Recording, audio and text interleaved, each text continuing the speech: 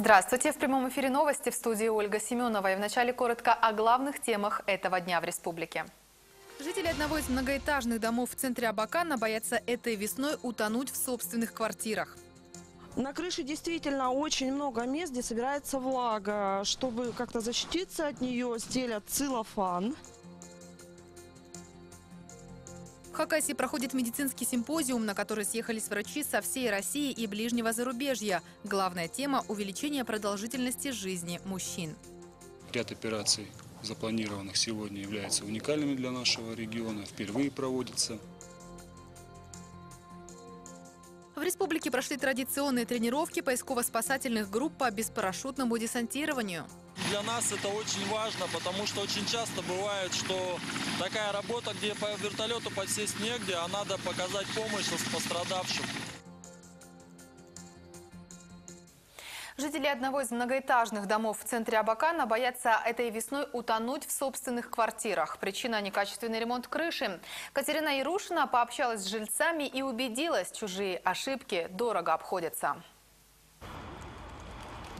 Трехэтажка на Чертыгашева 110 построена больше полувека назад. В 2016-м дом пережил первый этап капремонта. Подрядчики заменили крышу почти на 2 миллиона рублей, убрали шлак и укрепили настил перекрытия, минплитой и утеплителем. Теплозащита должна была составлять не менее 20 сантиметров. Тонуть мы в квартирах стали сразу. Вот у нас в октябре закончился ремонт. Первый дождь октябрьский, когда пошел, и затопило вот у меня лично в моей квартире, побежала над подоконником. И так хорошо побежала, что у меня все стены мокрые были. Сразу вызвали, пришли вроде в тот раз и капремонт пришел, и все. Нашли там, где бежит, значит, капает. Э, устранили как? Постелили под проблемными местами Целлофан. целлофан. То есть, чтобы оттуда бежала, а вниз не пробегала. С тех пор каждую весну и осень ситуация повторяется. Активисты сделали экспертизу и написали жалобы в ЖЭК и Минстрой Хакасии. Управляющая компания сменилась. Новая реванш теперь требует денег жильцов за очередной ремонт крыши. Крыша сделана правильно. Но вопрос-то никуда не ушел. А почему тогда она бежит у нас? Если она сделана правильно, почему нас топит-то? Говорят, конденсат. Почему у нас Да. лед, конденсат? Почему? Это от чего? Почему у всех идут прямые дожди, а на нашу крышу косые? Сейчас руководство ЖЭКа в отпуске. Ни прокомментировать нам ситуацию, ни помочь людям не может. А из жилищного надзора пришел подтверждающий опасения людей ответ. При замене перекрытия допущены ошибки. Теплозащита тоньше норматива. Чердачное перекрытие по всей площади крыши состоит из существующей доски настила, пароизоляции один слой, утеплителя минплита 150 миллиметров, э, ветрозащитная пленка. Над 20 квартирой имеются участки наледи, изморозь. Наша съемочная группа залезла на крышу. Почти на каждом шагу налети лужи. Даже под кровлей при стыке с парапетом скопился лед. На тех участках, где окон для проветривания больше, сухо. А если отдушин мало, поверхность вообще не просыхает. На крыше действительно очень много мест, где собирается влага. Чтобы как-то защититься от нее, стелят целлофан. И вот здесь один из таких ярких примеров. Как мы видим, лед еще не растаял где-то местами, а где-то уже достаточно сильно еще и уже занял поверхность. Жители дома уверены, что платить деньги ЖЭКу за чужие ошибки они не должны. Поэтому готовят жалобу в прокуратуру. Катерина Ярушина, Руслан Шалгынов, РТС. Следственный комитет проведет проверку по факту жестокого обращения с детьми в Абаканском мини-детсаде «Мое солнышко». Эту историю мы рассказывали еще в начале февраля. Родители полуторагодовалой девочки обратились в полицию с жалобой на кровоподтеки и ссадины на руках ребенка после посещения детсада. Воспитатель призналась, что малышку, скорее всего, тянули за руки, но предоставить видеофиксацию директор отказалась. В ходе проверки полицейские не усмотрели физического насилия в действиях воспитателей. Как сказал отец пострадавшей девочки, на опрос их не вызывали и не просили предоставить справки от врачей. Материалы дела переданы в Следственный комитет. Общественная сила в Хакасии прошел 10-й форум некоммерческих организаций и гражданских активистов. На площадке поднимали актуальные вопросы, а также подвели итоги конкурса «Общественное признание». В числе победителей журналисты РТС Ольга Барловская расскажет. Юбилейный форум НКО развернулся на базе Хакасского технического института. Большой зал еле вмещает участников. И это лишь часть людей, которые помимо основной работы берут на себя общественную нагрузку. В Хакасии десятки организаций социального, патриотического, спортивного и экологического направлений.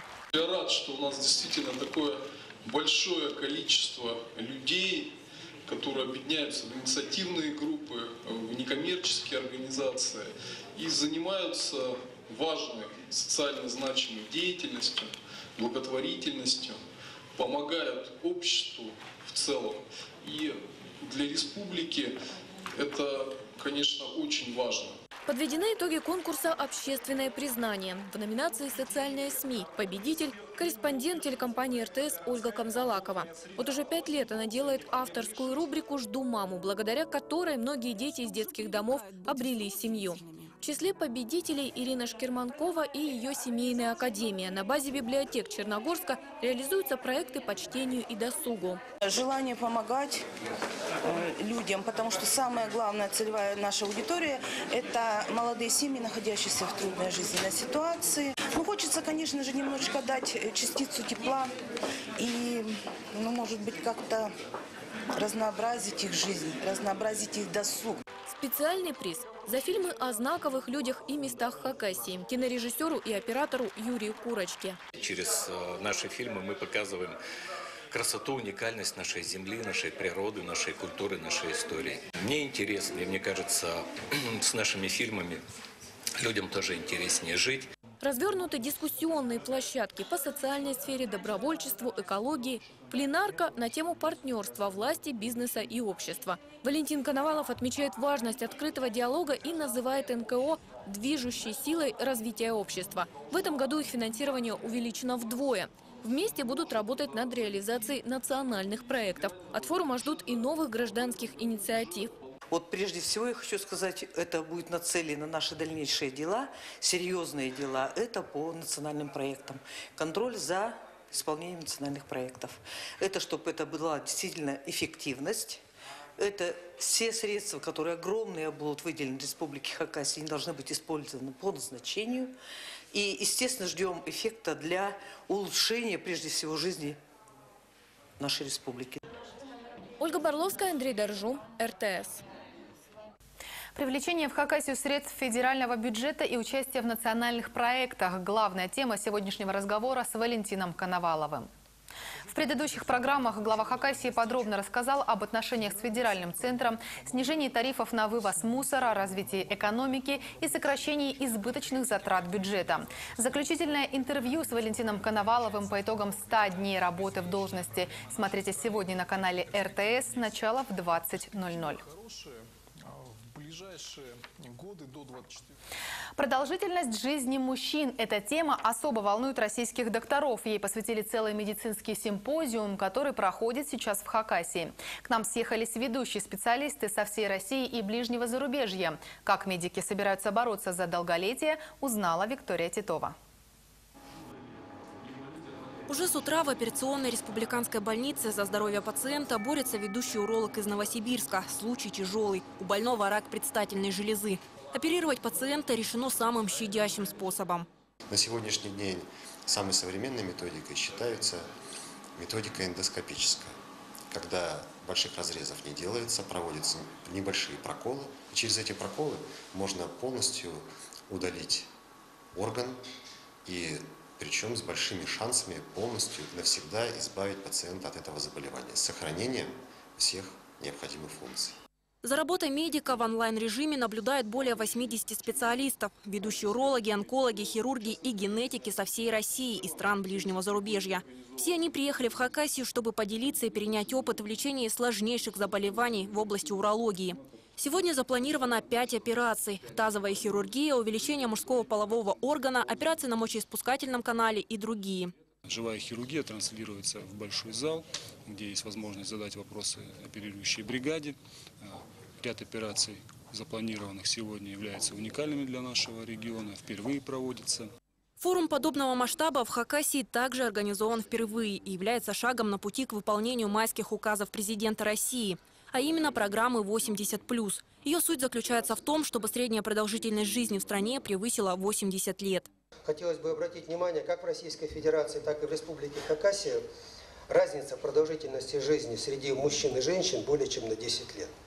А по майским указам мы с вами должны к 2024 году достичь уникальных цифр по продолжительности жизни, что для мужчин, конечно, потребует огромных вложений как общества, как самого населения, так и наш, нашего здравоохранения.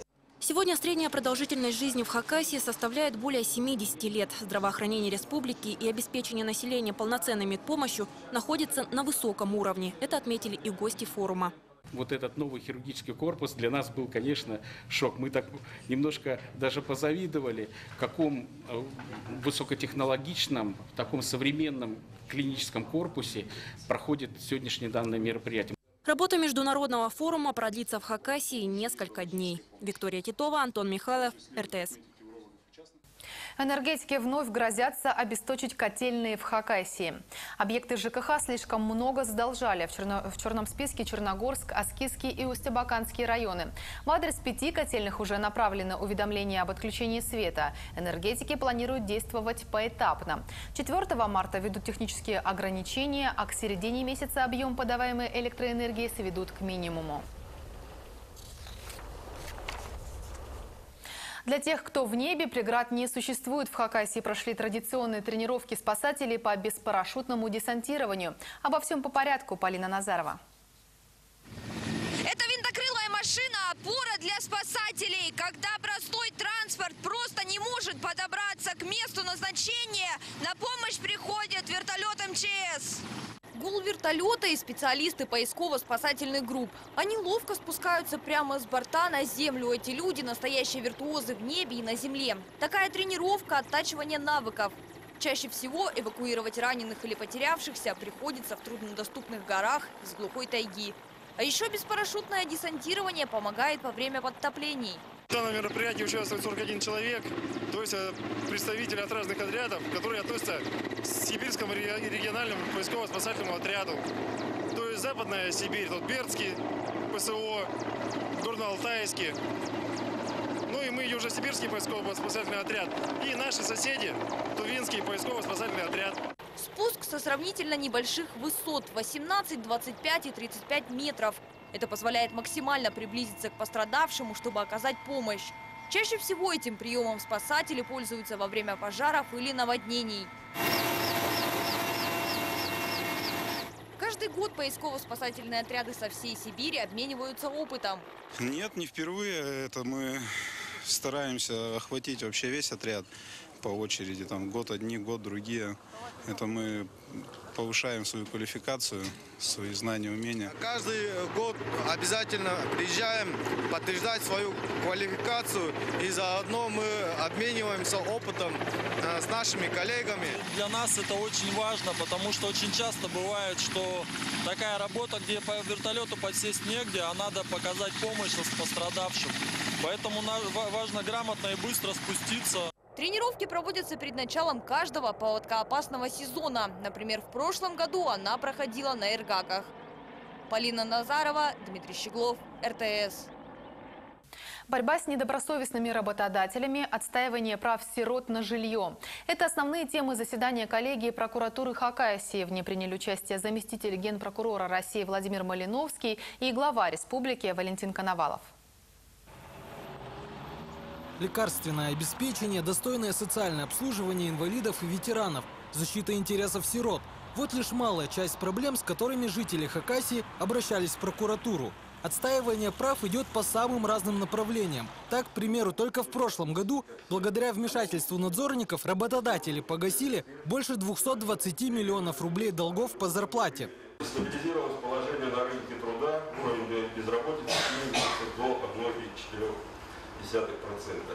Поручаю прокурорам впредь своевременно отслеживать все негативные процессы, не допускать социальной напряженности. Сегодня прокуратура Хакасии подвела итоги прошлогодней работы. Среди участников расширенного заседания заместитель генпрокурора России Владимир Малиновский, председатель Верховного Совета Республики и глава Хакасии. От слаженности, профессионализма и оперативности совместной работы сегодня действительно зависит безопасность и комфорт жителей республики.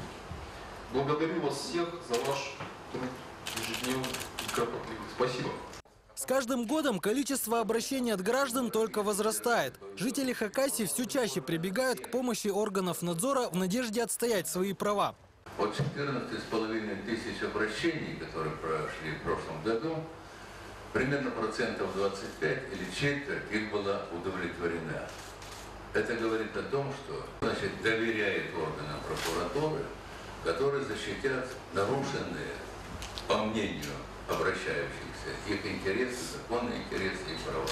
В этом году прокуратура продолжит работу в сфере соблюдения экологического законодательства, обращения с твердыми коммунальными отходами и подготовки к отопительному сезону. По мнению экспертов, эти вопросы входят в число наиболее актуальных для нашего региона. Оскар Артемонов, Станислав Колчинаев, РТС. Завтра в Красноярске пройдет финальный этап эстафеты огня Всемирной зимней универсиады 2019. Факелоносцы стартуют в 12 часов дня от библиотеки Сибирского федерального университета и пробегут 11 километров по центральным улицам столицы студенческих игр. Будет организована прямая трансляция. Сразу после завершения эстафеты на открытом катке пройдет Unified матч. Это игра, в которой могут выступать известные спортсмены-общественники. А уже в эту субботу, 2 марта, состоится торжественная церемония открытия зимней универсиады. Весна в Хакасии обещает быть теплой, утверждают синоптики. Март порадует жителей республики солнечным небом и высокой температурой на градуснике, местами до плюс 17. Март у нас прогнозируется теплым. Э, средняя температура в пределах нормы может быть на 1 градус выше нормы. По количеству осадков их ожидается небольшое количество, меньше нормы. Э, температурный режим в марте, первая, вторая декада, ночные температуры минус 5, минус 10, местами э, в горных районах минус 12, минус 17. Э, дневные температуры плюс 2, плюс 7, а местами до минус 5. В третьей декаде э, температура будет повышаться как ночная, так и дневная. Ночная минус 2, минус 7, а дневная плюс 2, плюс 7. В отдельные дни возможно повышение до плюс 17. Наступление весны раньше всех чувствуют животные. В Абаканском зоопарке из зимней спячки вышли еноты. Галина Сергеенко побывала в гостях у пушистых постояльцев. Отошли от сонного состояния пушистики с легкостью. Их организмы автоматически перестроились в новый режим, без вреда для здоровья. Наетые перед спячкой щеки почти ушли, но стройнеть они не собираются, говорит методист зоопарка. Не в их компетенции. Бывает в период ухаживания, да, то есть когда наступает ну, вот, период размножения, вот здесь они немножко такие стройнеют, потому что много тратят энергии, сил на, то есть на создание пары. Кормят постояльцев в зоопарке сытно. Еноты впадают в спячку примерно в начале декабря и просыпаются 2-3 раза за месяц. Причины просты. Им надоедает лежать, и зверьки выходят погулять. Примерно на день-два. Затем снова засыпают. Сон у них не такой глубокий, как, например, у медведей, которые до сих пор не проснулись. Просто пушистики становятся менее подвижными и игривыми. А вот енотовидные собаки в этом году решили вообще не спать. У них лишь временно снизилась активность. Галина Сергеенко, Антон Михайлов, РТС. Сегодня четверг, а значит пришло время для нашей рубрики «Жду маму», в которой мы рассказываем о детях, мечтающих обрести любящих родителей.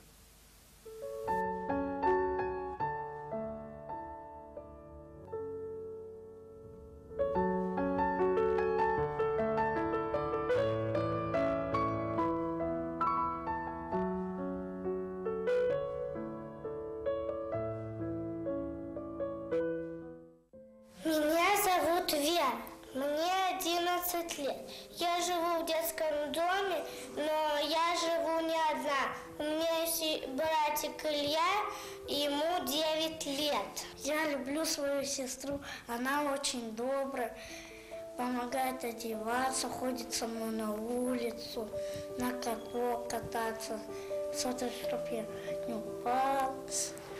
Она меня защищает, и я ее защищаю. Илья хороший мальчик, он, он занимается всем, ну, ходит делать поделки. Какая божья коровка цветом должна быть? Красным. Черные точки на Черные спине. точки. А где она у нас будет находиться? На листке. На листке.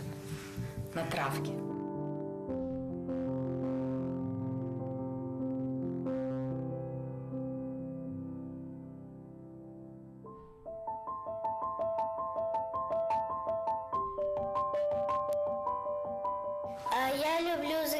Заниматься рисованием, чтением.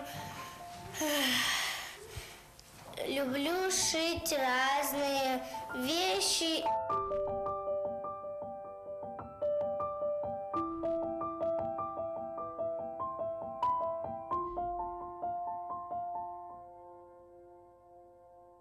В начале строчки мы будем делать закрепку.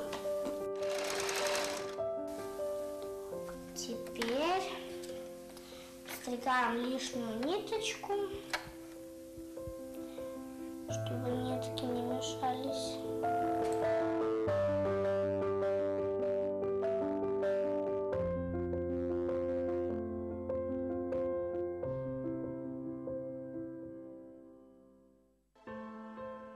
Семья – это когда рядом мама, папа, и они тебе могут помочь. Заботиться, помогать уроки делать.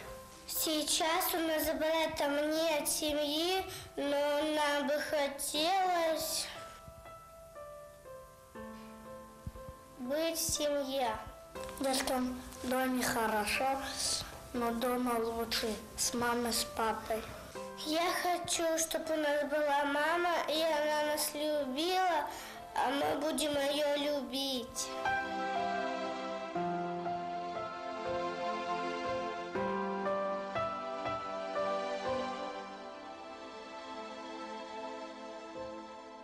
О событиях в республике можно узнать и на нашем сайте tvrts.ru. Я на этом прощаюсь. Всего доброго и удачи.